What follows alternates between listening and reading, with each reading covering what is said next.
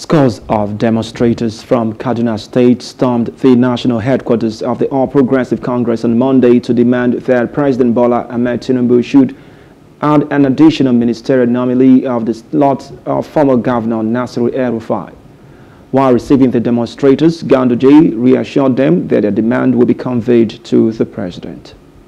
Our prayers, sir, that the next ministerial nominee from Kaduna State should be a person of great repute.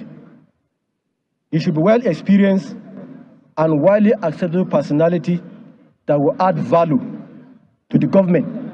Throughout your speech, you are emphasizing capacity. You request Mr. President to provide you to nominate one of you from Kaduna State and you have not mentioned any geographical location. Hello, hope you enjoyed the news. Please do subscribe to our YouTube channel and don't forget to hit the notification button so you get notified about fresh news updates.